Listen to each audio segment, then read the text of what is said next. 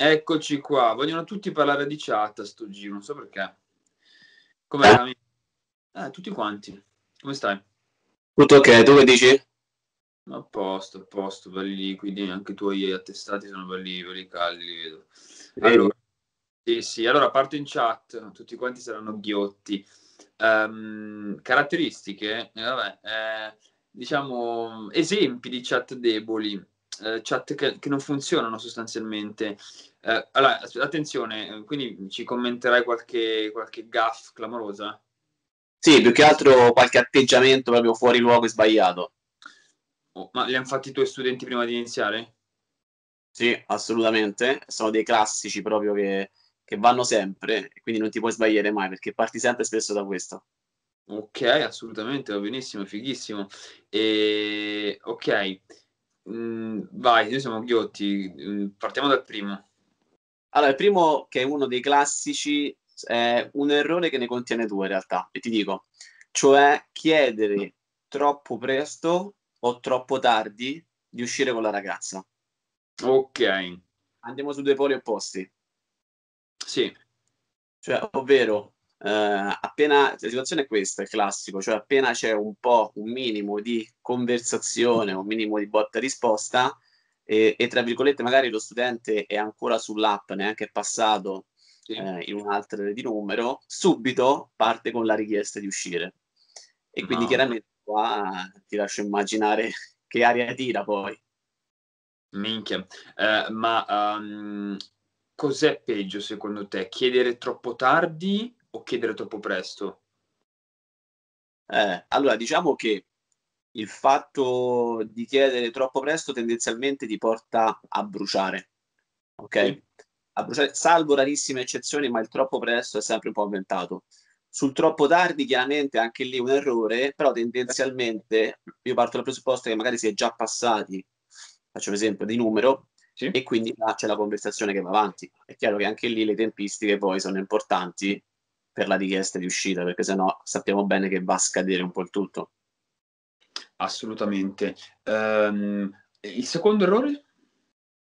Allora, il secondo errore è un linguaggio troppo analitico, troppo, ah. troppo, mh, troppo senza privo di emotività, troppo serioso, cioè come okay. se fosse quasi un colloquio di lavoro per certi no, versi e dove si vanno a chiedere chiaramente le solite cose, come va, come stai, e si gira attorno a questo e, e, finisce dopo poco perché poi anche chiederlo in questa maniera sappiamo insomma come va a finire. Il terzo ce lo metto io, dimmi se lo riscontri in tanti, in pochi, c'è, non c'è, il fatto di voler da subito sessualizzare il discorso, lanciare, ma anche solo delle battute un po' maliziose che fanno protendere sempre verso quella via, troppo presto. Esatto, l'etichetta del pervertito è dietro l'angolo, quindi okay. ce l'andiamo subito a, a, posizionare sulla fronte. Sì, assolutamente sì. Sono tutte cose prese un po' da, dalla poca intelligenza sociale a volte, di poco saper leggere le situazioni, dove la ragazza chiaramente ha i suoi tempi, ma oggettivamente poi non è tanto la ragazza, ma anche la chat stessa, no? che deve un po' riscaldarsi. Sì. E questo passare le tappe così ti porta sempre a, a portare a, a, a, finire la cosa, o quantomeno a bruciartela. Assolutamente sì. Um, altri errori che riscontri? Il parlare tanto? Scrivere tanto?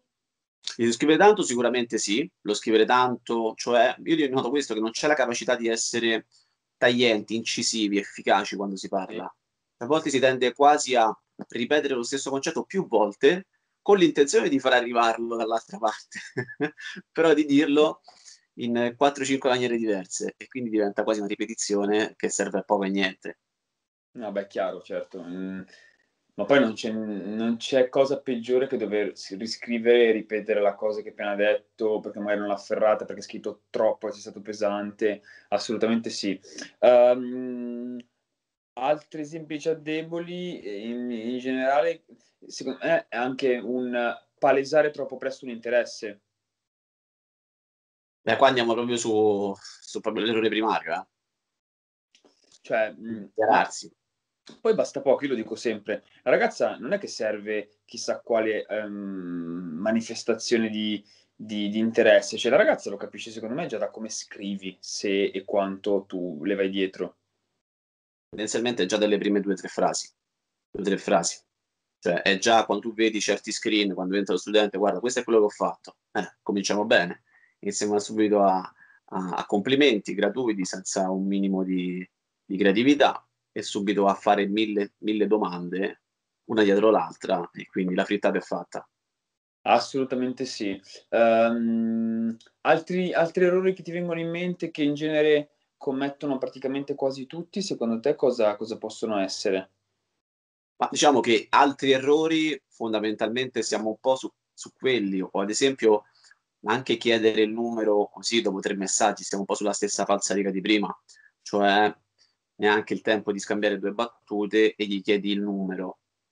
Non va bene. Cioè si presuppone il fatto che uno sia un assetato e quindi sì. stai lì, veramente quello che passa il convento va bene, no? della serie portiamo qualcosa a casa.